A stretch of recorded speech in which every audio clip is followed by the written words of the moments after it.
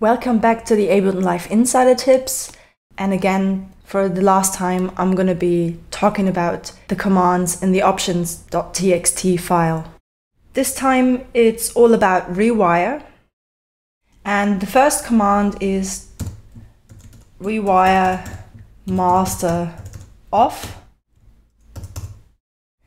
And that means that you can disable live as a rewire master this way. So if you never want live to be a rewire master, just enter this command and it won't happen anymore.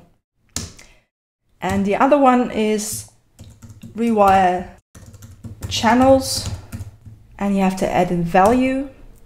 The default is 16, which means that you have 16 channels available when live is the rewire slave. You can set it to a number between 0 and 64. So for example, we could set it now to 32 and save. And I already have Logic open to act as the rewire master and I'm going to start live.